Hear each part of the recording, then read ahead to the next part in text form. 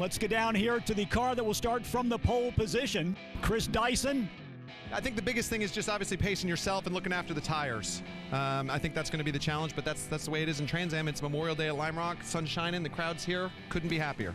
You are also the Motul Pole Award winner, a new track record at 49.832. That gets you down to prototype times. Yeah, we're going real fast here. You know, Dad starts bringing up the 80s, and we point at the timesheets, and uh, he starts laughing about it.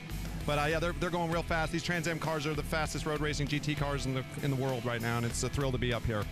That is Chris Dyson. He will go from the number one position in car number 20